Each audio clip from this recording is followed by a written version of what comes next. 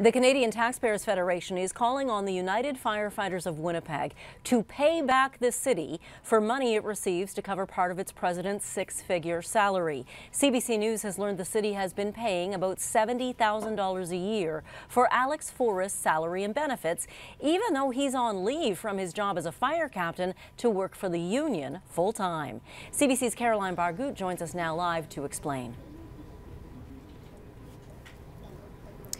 Well, Janet, the city is paying part of Alex, salary, Alex Forrest's salary because of the deal it made in January 2014. The deal was between Forrest and the city's former administration. Now, in it, the city agreed to pay 60% of the union president's salary even though, as you said, he is on leave from his job as a firefighter.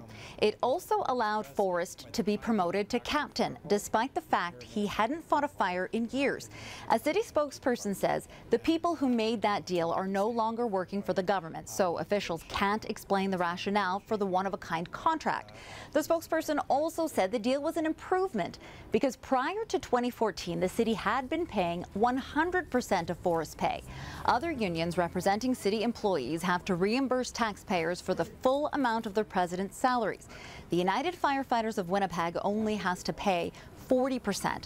Now, the Canadian Taxpayers Federation says the city should end that agreement immediately, and even if it doesn't, the union should do the right thing and stop billing taxpayers for their president's pay.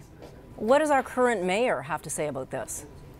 Janet, Brian Bowman wasn't available for an interview today, but in a statement to CBC, a spokesperson for the mayor said, while Mayor Bowman recognizes the 2014 agreement represents a better deal for taxpayers and feels the agreement should be honored as agreed to in good faith, he will be recommending that this issue be considered in an open and transparent way in the next round of collective bargaining.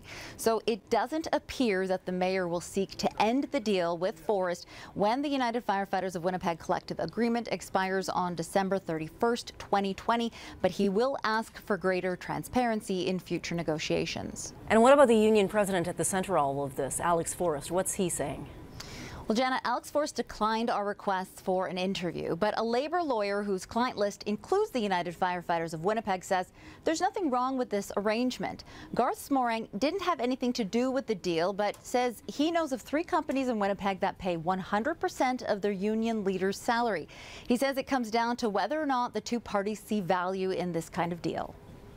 Um, first question is really easy. Can I get you to say and spell your first and last name? Sure. Garth Smorang, S-M-O-R-A-N. Okay, well that is not the clip that we meant to show you, but uh, Smorang did okay. say that um, it really does come down to value. I'm a union Clearly side. in this case, both parties saw value in it.